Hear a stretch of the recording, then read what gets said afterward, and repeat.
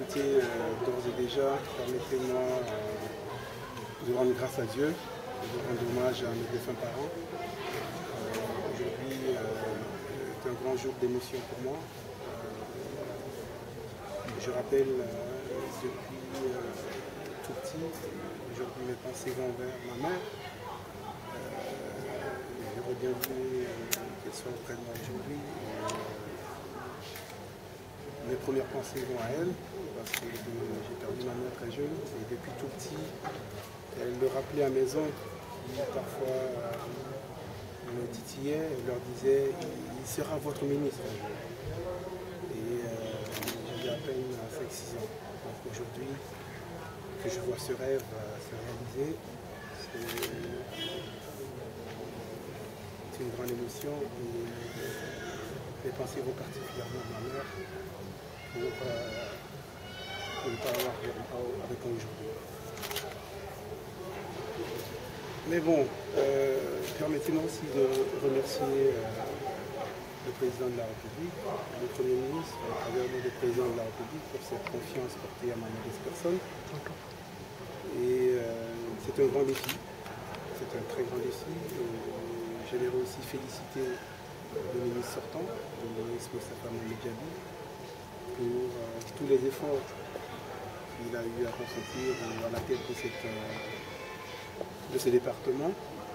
Et je compte euh, m'inscrire dans cette ligne de dynamisme et aussi de tout ce qu'il a pu faire de bien à la tête de ce département.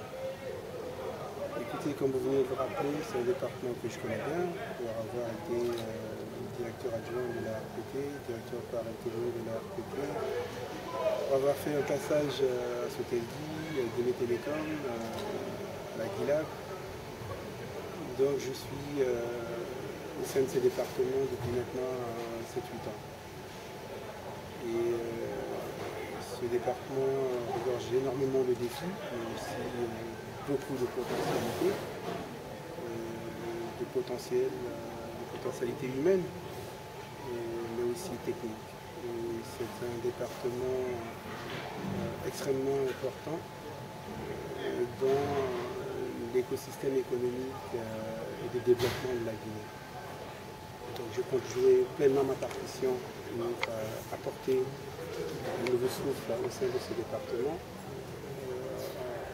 m'inscrivant dans une ligne de main tendue vis-à-vis de l'ensemble des collaborateurs pour que ensemble nous puissions euh, honorer la confiance qui a été placée à moi, mais euh, aussi euh, honorer l'ensemble de la jeunesse guinéenne, parce que je me vois aujourd'hui ambassadeur, porteur d'enfants au nom des jeunes et de la jeunesse guinéenne, et je n'ai pas droit de trahir cette conviction et cette confiance. Et je suis animé par une profonde euh, conviction de relever ce défi et euh, aussi euh, de faire en sorte que le ministère des Postes et des Communications réellement soit un département phare du gouvernement de Dr. Ivan Personnel